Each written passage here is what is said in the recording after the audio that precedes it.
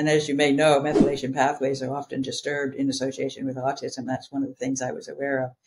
Um, glycine is a is amino acid. It's one of the coding amino acids, and those are the building blocks of proteins. And, and they go with the famous DNA code. This is four letter code uh, for nucle- nucleotides, and they call them AGCT. And the sequence in which they occur is like it's like you're reading off a code, and three of them together in a sequence are a code for a specific amino acid.